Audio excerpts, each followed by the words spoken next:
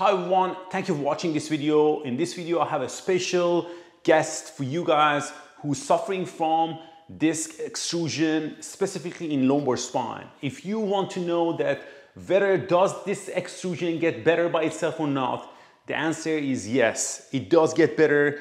And even though it can be as big as 20 millimeter disc extrusion in lumbar spine. Jessica, my online client who was basically suffering from 20 millimeter disc extrusion in her lumbar spine, contacted me four months ago and we started her rehabilitation through an online consultation and online plan. And in this video, I would like to share with you her results and how is she getting on after four months. She was in not a good place initially when we started her prep plan and she shared with you what was her mental state and physical state was and what was her struggle initially because she was in severe pain, numbness, tingling, and sciatica symptoms in one side. And she even got to the point that she had foot drop and gradually she built up and recovered. And in this video, we have a pre and post MRI picture after four months of recovery. She basically shared with you what was her fear, how did she find out this routine. Specifically, at the end of this video, she shared with you a couple of tips for you who's suffering from lumbar disc bulge, extrusion or protrusion who wants to recover. And I believe these tips are very valuable from person who has experienced this problem. Make sure to watch the video until the end. In addition, I share with you her orthopedic video that her consultant explaining her before and after MRI scan and it can be pretty informative for you if you're suffering from this condition. If you've never been in this channel, my name is Bob. I'm a physical therapist and the purpose of this channel is to help people like yourself with simple tips and exercise for quicker recovery. Make sure to subscribe my channel for my weekly update and don't forget to press that like button.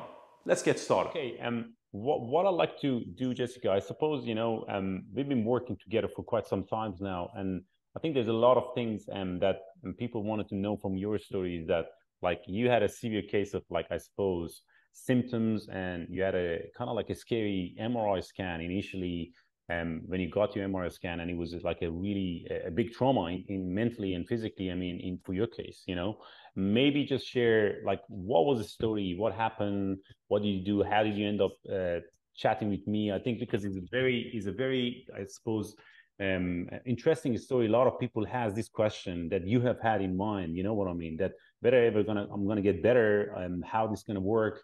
What you mentioned just now about like you know visiting your neurosurgeon, etc. Um, mm, maybe just share that. Yeah, sure. So it's been quite the journey, but um, probably best to position that I actually herniated two discs about five years ago. That's when my back um, injury started. Yeah. Um, and as far as I'm aware, they healed. So I was on sort of a progressive plan of um, improving strength, trying to train safely, getting back into sport um, and exercise, and actually was in a really good position. Um, so I then decided to take on uh, the next challenge, sports challenge, which was a an event called Hyrox, which is a pretty high intensity. It's not CrossFit, but it's um, there's a number of fundamental exercises that you do and then a one kilometer run in between and it's timed or you have to complete it in as quick time as you can. So there's things like the skier the rower um you've got the sled push and pull farmer carry oh, what else is in there? There's uh, weighted lunges and yeah, all sorts of sort of exercise like that. So I was in training for that, mm-hmm. and I'd completed about six weeks, and it was going well. uh, and then after one of the sessions, it was quite a heavy session weight wise. Mm-hmm. I was doing mm-hmm. some quite heavy front bar squats and lunges. Um, I just felt sort of when I got home, I'd sat down mm-hmm. and I felt a pain in my lower, lower right back, and I thought, oh no, please, like surely not. Um, anyway, over the next couple of weeks, I moderated exercise but carried on training. I went to see the osteopath a couple of times and they thought it was my sacroiliac joint. Um, but it sort of progressively got worse. So I was thinking, okay, something's not quite right here. But I was under, you know, no one had mentioned that it could be my disc. Okay. So again, I um, kept pushing forward and, and just monitoring. Um, and then I started to get a really sharp pain in my right hamstring. which again you think that's a bit unusual. I've not had that before, but mm. it, I knew there was something going on. But and again went to see another osteo sort of physio, and they also couldn't really detect anything because the test they were doing they didn't feel it was the my discs. Got you. Um, and then I completely lost the function of my right leg. Oh my so God. I couldn't walk, I couldn't go upstairs, I couldn't put any weight through my my toes. like, like the calf like it's kind of like foot drop, basically. Like yeah, and I've never experienced that before. Oh God, and previously with my herniated disc, I had no no neurological symptoms, just just pain. Got you. Um, and mainly on flexion. So this sort of felt a bit different. And again, I tried to carry on thinking I'm sure it'll be fine. I carried on swimming.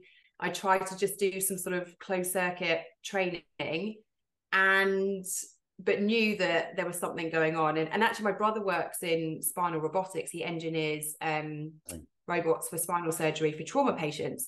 So he knows quite a bit. And I said to him what I was experiencing. And he was like, Jess, you need to go and see someone, um, yes. you know, quite quickly. And I'd been to the GP and I'd asked some advice and they sent me home and just said rest for a week. Uh, I probably should have gone to A&E given my symptoms were, were pretty yes. severe, but I yes. just thought, yeah, I'll, I'll be fine. Um, anyway, I went to see then an orthopedic surgeon in London, and he sent me in for an urgent MRI the same day. Um, and yeah, I went back the next day for the results and had a pretty traumatic um, meeting. So yeah, I actually found out that my disc was not only herniated. This is at the lowest level, L5S1. Got you. But it was um, well what they call a sort of complete prolapse it was a it was a significant um extrusion so yeah. it, it do, you, do you mind the, if i if i share those videos um i mean just to show show them like what was the level of the basically pictures i mean the, the to see exactly how it was because it was looks like for you i suppose and they mentioned like um the look is big right in comparison to what you had before yeah. right and what they basically mentioned to you um because you mentioned it was a pretty scary conversation i suppose yeah, he um he thought I had a Cauda Equina syndrome, which is basically where the disc was sitting in my spinal canal. Is it was so close to the nerves that supply your bowel and bladder. So he was asking me if I had um, a number of symptoms like numbness in the saddle area, any pins and needles, any incontinence, or trouble controlling my bowel or um, bladder movements. And then I was convinced that I maybe I did have this. Like it was a really quite um, yeah. shocking. I didn't even know what that was. I'd never heard of it before. So he basically said also that the disc was still active and it hadn't declared itself, um, which basically that if it came out any further, I would need probably urgent surgery. And he had actually booked me in for surgery in five days' time. Gotcha. So I was trying to come to terms with every, everything. And yeah, I could see on the scan it was going completely through the spinal canal and pretty much well, it was sitting on the S1 nerve root, which explained why I had didn't have the function of my right leg. Mm-hmm. Um, and did, did they mention about the size of it? Like they did they tell you like how big it is?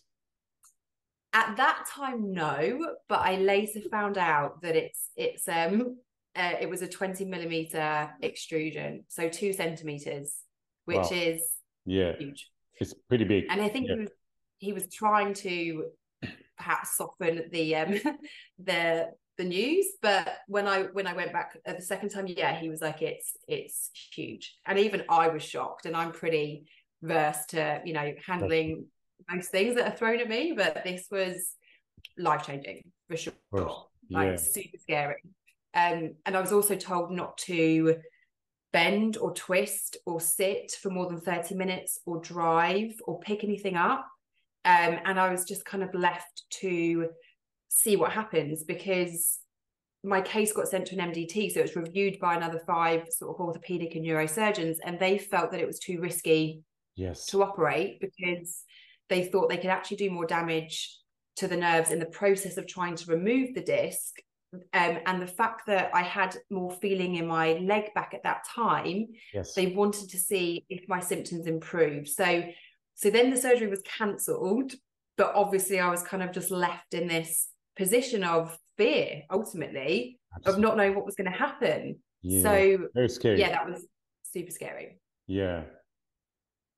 and when it's your back, it's so central to your nervous system and, and all of your movement and your feelings that it's it's pretty debilitating. Um, and and the level of of nerve pain is is something completely different to another pain that I've experienced. Exactly. And, and the burning, it was like there was a fireball in my glute uh, running all the way down sort of my leg, and the pins and needles in in my foot was so aggressive that there was no no relief from it at all. It was like 24 7. And I, I, was, I was I used to sort of stamp my foot to see if that would help relieve it. And it didn't. Yeah. And yeah, it was very, very real. Um but but pretty crazy. So yeah. What happened um, after that? I, I, now understand a new level of of back, back pain yeah. and, and neurological symptoms. Exactly. And then what happened after that? Then I found you. so yeah, so yeah, so what I was saying before is I was told, you know, basically not to do anything. And for someone that is super active, um, that's gone from 100 miles an hour to zero miles an hour, yeah. but also the logic behind or the method the method behind not doing anything is is pretty uh not uncomprehensive for me so i was thinking surely there needs to be some movement for blood flow to to keep mobile um but also stay within a safe remit um, of, of risk. So I was then took it upon myself to just research and try and find some help and try and work out what was the best thing to do. One to stay sane, but also how can I heal this thing? Like back back five years ago, they were protrusions yeah. and they were broad based um, and they were just very painful on flexion. But this was like something completely different. different. And this yeah. was just L5S1. But interestingly, on the scan, the the disc above L4 L5 had healed and that still is there's no protrusion no herniation but you can see the scar where I've got the where I had the annular tear and yeah. that tear is still there but the disc is is like not herniated. So I was oh. I was so happy about that yeah. that I was trying to focus on the fact that I did heal then so surely yeah. I can heal again yeah you had this conversation i think like, initially we had this conversation initially yeah. Yeah. That you were saying that so you think is going to get better. Yeah and i think because i'd been let down by well i felt the nhs system in the sense that you know i went to see a gp i couldn't walk. He just sent me home to rest for a week. I think that was definitely not the right help. And he said, "I oh, will book you into a, a muscle and skeletal center in two months' time." Um, and I just thought I, I knew I needed some more help, like attention. Um, so then, and I'd had quite a bad experience with a number of different physios and osteos because obviously no one had detected the severity of this, what was going on. Um, so yeah, that's when I came across your site on Instagram from aggressive stalking of all kind of sites on anything that could help like disc yeah. herniations and groups anything online. And obviously it's it's really hard to, you're almost starting from scratch because you know I lived abroad for a long time as well. So I had different um osteos and, and trainers that I worked with there to help rehabilitate my back. And moving back to the UK I kind of didn't have that anymore. So yeah. And and when I came across um the Dublin sports clinic for um, injuries, I just saw some like quite a holistic approach to how you can heal without surgery. And there was a lot of um, more relatable examples that I thought actually that could really, really help. And it, it was much more um, on advocating movement versus doing nothing. So that's when we had first had our discussion. And what, what I found most useful is actually having something, some structure and a plan to follow, even if it was the most basic plan ever, which it was. It was like walking, you know, mobility exercises, but it was something Absolutely. over let's just see what happens and basically just breathe mm-hmm. uh, and exist for, for X amount of time. Um, and I knew I was having a scan in sort of three, three and a half months. So I thought, how the hell am I going to get from this to this and prove to this like surgeon that I, I don't need surgery? Exactly. Um, so that's where our journey started.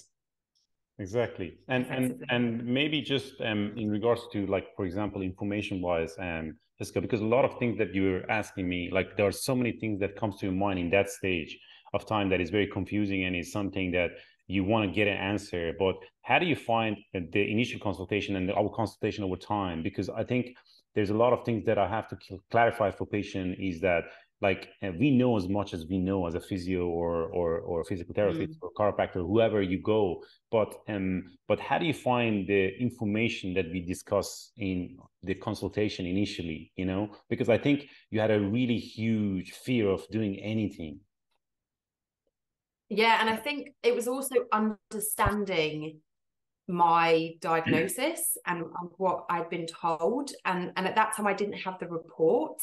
And when I got the report back, I was even more petrified than I was of the, you know, the images. Yeah. So I think what really helped me is a positive approach to healing versus this is a really cool situation. You're very limited with options. Don't know if it's going to get better. Could take 18 months it's it's a really bad injury basically you're screwed so yes. that's how i felt um, and then actually when i came out of um, our initial discussion one you actually gave me the time whereas i feel when you're in these consultations with the surgeons it's very rushed it's you know they're so busy but you also pay a lot of money to see them and i was doing it privately so i didn't feel like i got the chance to ask some of the questions that I had wanted to ask. Um, so that was really, really helpful. But I think firstly, just understanding my what's happened, like my position and, and how I've kind of got there. And you you always asked about not just the now, but what what's happened previously or what's been the mm-hmm. lead up to this. So you could understand from a lifestyle perspective how on earth I got myself into this situation. Um, but also then I I guess that helps feed into how best to move forward when you when you know that and understand that. And I think just having um your ability to listen so well, but also then reassure me that it's going to be okay. Like regardless, it's going to be okay. Um, I think I needed that because I had so much fear that it then inhibits your your ability to believe that you can heal, even though you, know, you know, hopefully you can. And I think because you had so much experience with other people that have gone through this type of injury and actually avoided surgery and got better that for me was like okay you know i need to believe also that and i, I knew I, I knew i had to but it's very difficult when you've been put in this position of fear to um to really think that then that's an option and you're still contending with you know the nerve pain the pins and needles the numbness yes. the not being able to walk properly it's very very um it feels almost a bit like a, a you know you've got a, a, disability because it's affecting all parts of your life. Of course. So and then i think when you know you've mentioned that other patients of yours have had progressive plans and they've improved and their symptoms have improved and look we can manage it. We can we can tweak it. We, you know you'll be in a safe zone effectively. We're not going to do anything that's going to put you at risk.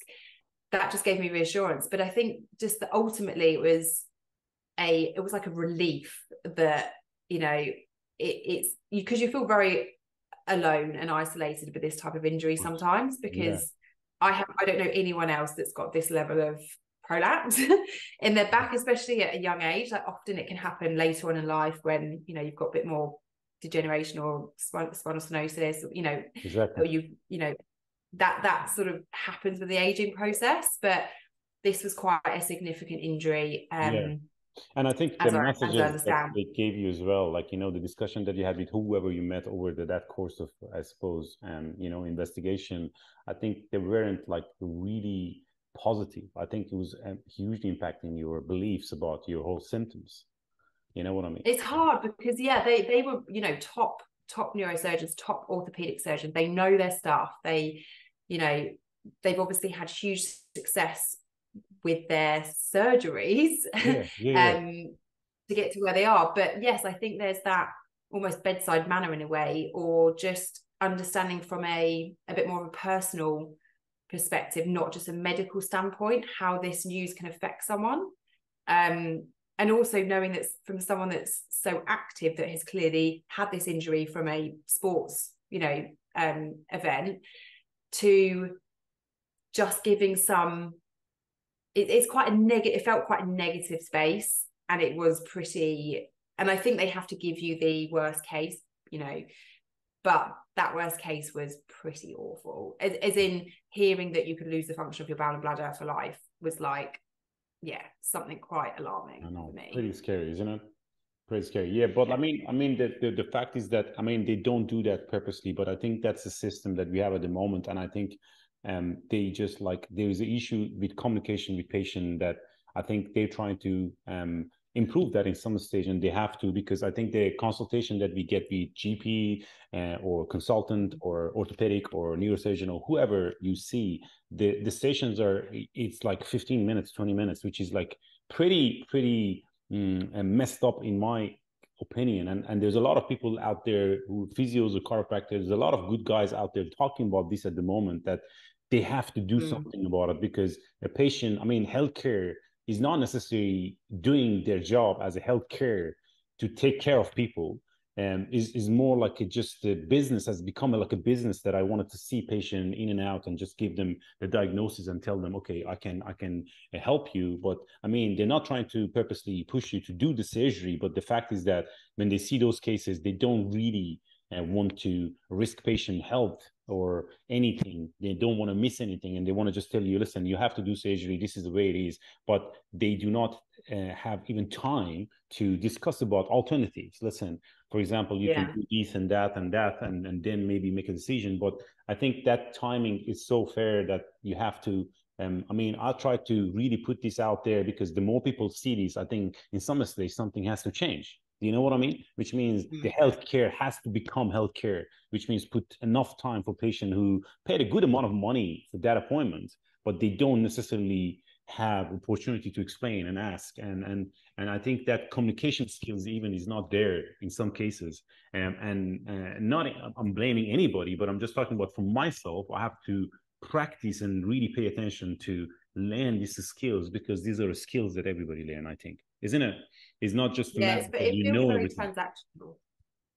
Yeah, absolutely. Okay, um, and and then we start your plan, Jessica. I suppose um the plan was, I suppose, um, how do you find the plan? Maybe, maybe, maybe go through that in a sense of like, okay, the first stage of the plan was like probably very basic stuff for you from what you used to do, but it was, it was, it was something, right? Yeah, and I think the main thing was we were mo- that in the planet has the ability to just measure and monitor your pain or your symptoms as you're performing the routine. And obviously, yes, it was very, very basic. I mean, less than a warm up for what I would do normally, but it was so good to have. Uh, and we had maybe five or six really, really basic exercises um, that again were super safe, um, but just gave me enough to keep my spine mobile and to promote blood flow in that area. And obviously, I walked like an absolute trooper. I mean, even the neurosurgeon said, you know, um, you can walk as much as you like. So if you give me the ability to do something, I'll yeah. I'll do it to the kind of max. So I think combining morning and evening in the plan initially just having those small mobility exercises and then what we would call the workout routine um, and that was very much every other day. So it gave mm. my body a chance to recover which for me was a bit alien because i could train twice a day or or i would i would feel like you know that was probably too much looking back but i was used to um, being very very active on that sense. So but i understood that with this type of injury you have to see if it's aggravated it again because the last thing you want is yeah, for those 100%. symptoms to get worse and then you have to wait longer. So i think overall we've had a really good progressive plan over three months because each week we would review it or each two weeks mm, depending yeah, on absolutely. how the schedules work. Okay you found the exercises were kind of like okay gentle but but it has something um, you know as a structure i suppose um to follow initially and you started to carry on with it. And then then um, like how do you find the progress or how do you find those like review that we had every two weeks and uh, just go because i think um i think what what happened in my perspective was every second week that i was seeing you um you were feeling better. You know what i mean? In symptoms wise yeah. you know what i mean? Or overall like pain wise activity wise but how do you find those and um, progression or overall like sessions? Yeah i think the fact that when we did review them, we could add in, you know, something new, um, it kept it a bit more varied because I was sort of fearing that I would have the same exercises for like a very long time. Got um, you. I got you. And I think, yeah, sort of knowing when we could try something else, again, just basic, just helped you to keep a bit more focused and uh, motivated because it is, you know, quite difficult to go from what you're used to to a very different type of I mean, I wouldn't really call it training, but performing some exercises. um, but it was it was much better than I'd been told or you know given any information before. So yeah, that for me um, helped me keep structured. It gave me a little bit more insight into moving towards you know ultimately getting back to full full fitness and full strength again at, at some point but obviously i'm on a journey with this and yeah it's it is slow. but i think you know i don't know if it's included here but i had the next scan and that showed that there'd been a really good amount of um, reabsorption of the disc exactly. and healing and even the neurosurgeon was like pleased which that was you know based on our last meeting i exactly. thought gosh I was lying oh on the MRI bed, just thinking, that was please. that was after like four four months of the difference between the first MRI to the second one. and, um, Jessica, was it? Three and a half, yeah, three and a half months. Three and a half months. And yeah. he, he did say um, there could be two outcomes at this stage. Like you know, the best outcome is that there's some reabsorption and there's some healing. But he said he's seen cases where nothing's changed in 12 months. Mm-hmm. Um, and also some people's discs like calcify and they form you know bone in the spinal canal. I remember, yeah, that, I remember that, you were asking about that. Yeah, of course. Yeah, but yeah, but I suppose it's like laminectomy. Yeah, but I suppose in your case, I didn't know was... what it was going to show. So just just showing you this. So this is obviously your old scan. This was kind of February. This is the back of you. This is your tailbone. You had all of this disc fragment that came out, which I was concerned about, to be honest with you, because it was such a big fragment, causing quite a lot of compression. So you have to be a bit careful of that. But that's a that's a really really really big disc uh, and the disc material was also coming down here into your spinal canal. But um, if you look at the latest scans, it's really very good to be honest. Um, so the this is the latest scan where really there isn't any disc material down here at all. Um, and just going through, there's your central part of the canal, absolutely brilliant. And then as we come over to the side, you can see the nerve coming down here, just slightly snagging the nerve there. You might occasionally get a little bit of leg pain yeah, I mean, your case was like pure, like I suppose, um, shows that there is always um, uh, some hope, and and the body can reabsorb that, and the bigger is the disc, uh, even um, you know, the the better the response it is, and that's the that's the interesting part, and I think yeah. um, it gives people a bit of hope as well. That um, I think um, out of your case, I suppose, based on what we discussed today, there's a lot of things that I think people can pick up from this video. Is that like they can see that um, there's always a hope, you know, first of all. Second is that um, movement, I think, is hugely important for your, not just the physical factor, but as a mental that get you a uh, bit of hope that you can actually still do things and and not doing yeah. anything is going to make you definitely um, I mean, you you might feel much safer in the regards that I'm not damaging anything. But beside that, I think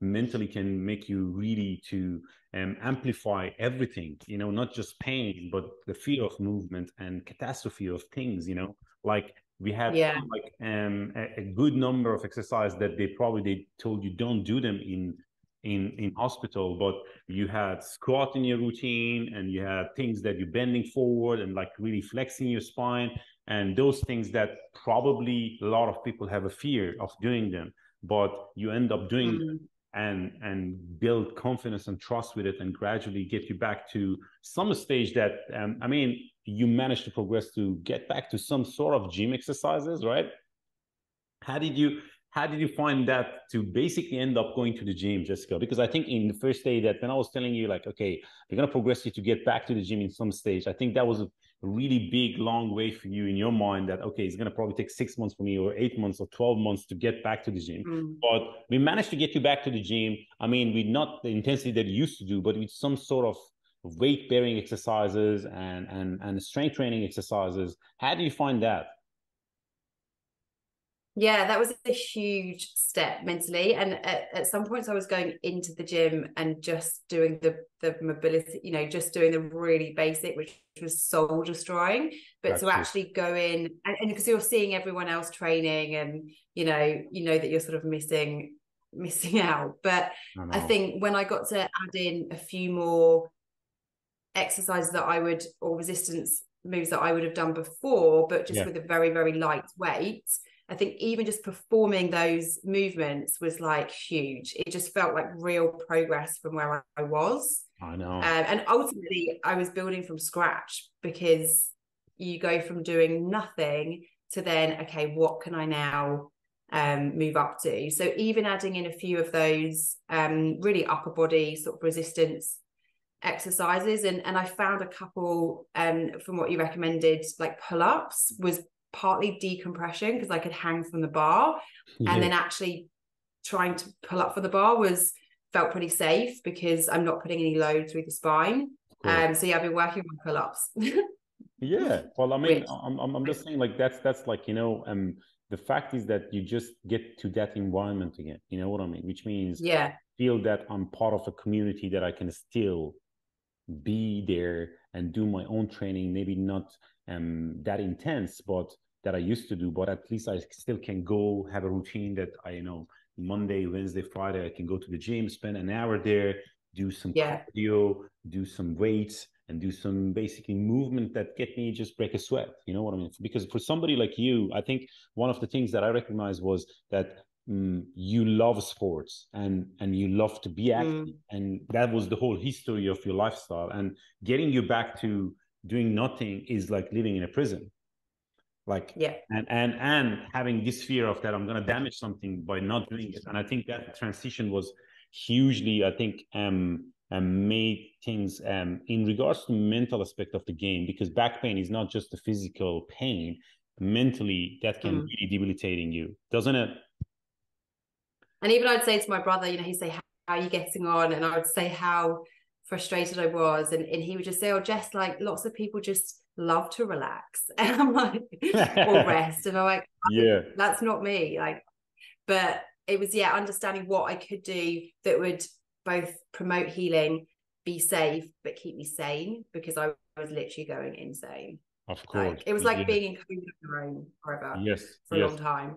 I know i know. Um, yeah but that's amazing. And and jessica tell me about this that like okay um you got your second mri um, three and a half months after your first one, and I suppose you visit your um, your orthopedic. Then you send me the pictures and you send me the videos, etc. It was exciting because you see a huge difference from the first MRI to the second one, and and I suppose like it was very um, liberating for you because you were like very panicky about things, and I suppose.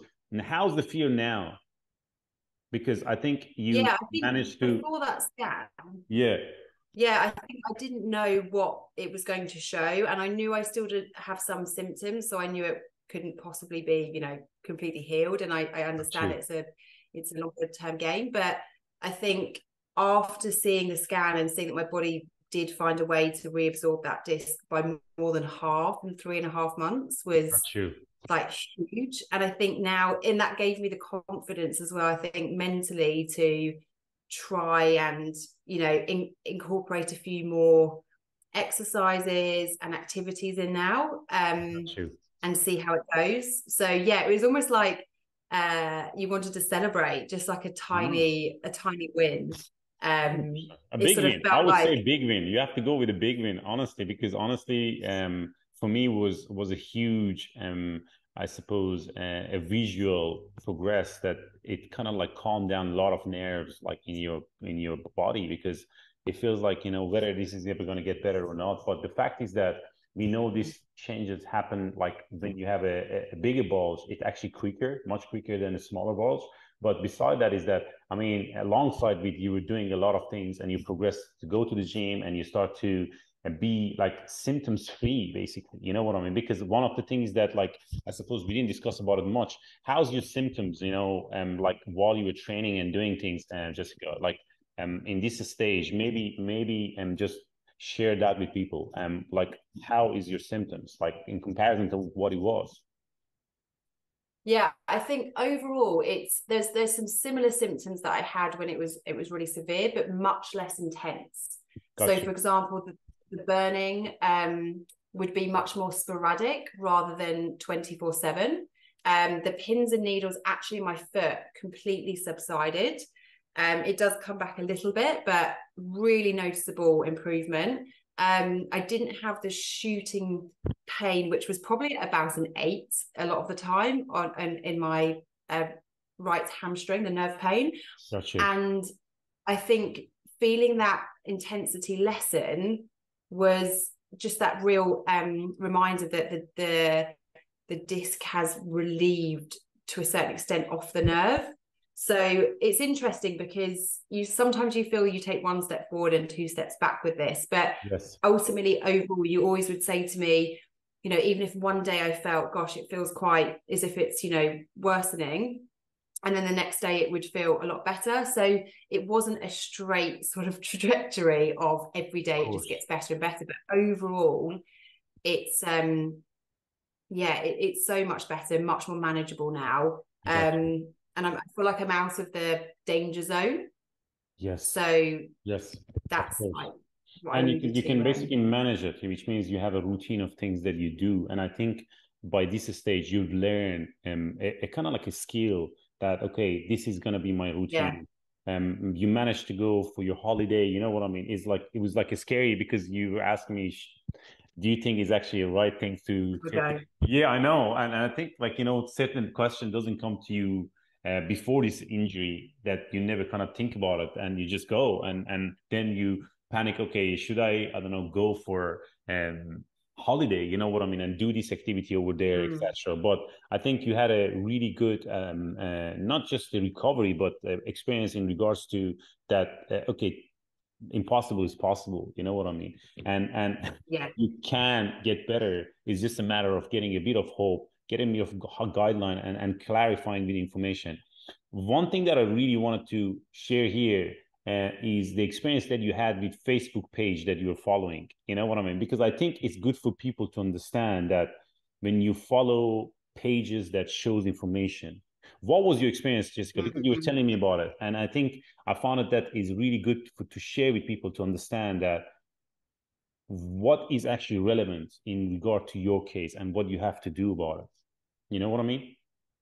Yeah, I think at that time I was looking for anywhere that I could um, find other people that were going through the same experience to try and understand what could be um, good like best practice and to help with the healing. So i joined three facebook groups. One was called like disc herniated group uh, one was disc with pinched nerves. There was like a few different variations of yeah. titles but ultimately that then anyone can join these groups as long as you're not um, a practitioner you know trying to sell your your services yeah. Yeah. so a lot of people from the us and i think there's a lot of um, kind of debate around the healthcare systems on these groups you know with, with but also a lot it's it's it's really evident that people think that surgery is their is their route to um, recovery or is their best option and i just think the education around that is not it, it's not as clear as as they think. You know there's lots of complications that can happen. It can make things worse. They can damage more nerves in the process. Basically everything changes once you've had spinal surgery in, in, in your spine. Um you know and and some have a good outcome for a certain period and i've learned that then it you know often there's reherniations. So and i think it was quite it was opposite to what i thought it was going to be. I thought it was going to be quite a good support um resource. And actually for example it was it was very negative. Everyone it actually made me very aware of how people deal with pain and how how it really affects people's lives. And it actually made me really quite worried that these people feel this way because it's almost like they don't believe they can get better. They fall victim to the injury. Um you know they think there's no hope. They've been let down for their by their healthcare systems. I got you. But it was yeah naturally just a very very um it, it wasn't a great space to feel more positive and um Of course. Um, yeah, yeah, yeah. So yes, it was a a different experience to what I thought it was going to be. And it's somehow like you know whatever you you kind of read and, and you go through is is kind of like very sporadic in regards to the information, and you do not get like a, a direction or guideline. Okay, what you have to do next, and it's more like a, a sharing their own experiences about their back pain. And I find like you know when people are um don't have like a, clarity about what they have to do, they start to really write down um, things that they feel and, and it can be really negative experience and that can create a lot of catastrophe and fear for yourself you know what i mean when you read those things which means you you end up mm-hmm. uh, thinking that i'm never going to get better because the, all of these people are not getting better you know what i mean but but i think that that's what it seems yeah. Yeah and i think that's something that i think people has to really be aware of it not to not read these things but the fact is that i really recommend people to stop reading about information and and ask mm-hmm. somebody who has some expertise you know what i mean? That who can answer your question and, and sometimes you may come up with a question just go that i don't know actually you know what i mean? I don't know everything. And that's something that is hugely i think to give them a clarity that can help. Um all right um Jessica is there anything else that you'd like to share? Like i suppose like you know you had a really um great journey in fairness and fair play to you because i think a lot of people can just give up you know what i mean? And just say you know mm. what this is my problem. I'm just going to go for there's some some uh, i'm just going to take it easy. If they even if they don't do the surgery they're just going to say okay you know what? They told me that i'm not going to do anything because they told me. Is there anything else that you like to share with people and just go yeah i think I'd probably like to share what i feel really helped on on on my journey sure. in the last sort of three and a half months to recovery um, and i think yeah the first thing is find Bob because he will help you understand. Thank you. What you've done, he'll put a really positive spin on it, and he'll listen, and he'll give you reassurance, and he'll give you um, options and and you know a plan outside of surgery if that's the best route for you. Um, and I think having that plan to follow mentally, physically, and emotionally just helps you get through each day knowing that you can have those small progress progressions. Um, it will be reviewed. You can feed back when something doesn't feel right. There can be changes made. But ultimately you're moving one step closer to where you want to get to you know when you're healed. So i think that supports that ability and, and you've always been available you've you know if i've if i've asked a question you've been super responsive. I know how busy you are. You've left me voice notes. I've left you voice notes. Like just to have almost that someone on your side or someone on your That's team true. with it has been a game changer for me. Um, and i think other things is absolutely believing that you can get better and the body has amazing way, ways to heal but you have to give it the right environment to heal with. Um, and i think mentally I watched a clip, um, I think you sent to me, but it was like, how do extrusions heal? And I literally watched it every day, and it showed like the body's immune response um, to target the area and break down the disc material. And this is what happens. So I tried to focus on that, that that was happening in my body. Um, I think keeping moving to promote blood flow is critical. The worst thing you can do is stop and sit still for too long. Like just keep moving. Uh, also drink loads of water. I got this um two liter bottle of um bottle that yeah. gave me my motivation. And actually on on the scan, and I'm sure Bob will share them, but on the late latest scan, it actually shows that there there's like it looks a little bit more hyped in my disc. Like they actually look a bit more hydrated, like Amazing. the other discs. And yeah. I'm putting that down to my my hydration. Um, yeah. also decompression. Yeah. So hanging from um, a pull-up bar. Yeah. I did that sort of twice a day just for like five ten seconds, just built it up just to give the um the, the spine a chance to try and you know increase a, a yeah, bit of height. Of course. Um, I also think the basic spinal mobility exercises like cat and cow, cow yeah, and camel. Cat camel. You know yeah. what I mean? Basic stuff. Um, yeah, the cobra, the hip ninety degrees hip rotations, thoracic openings um you know just doing that twice a day just just for like 10 15 minutes was you know a good way to start and end the day before oh, you go to bed and wake up.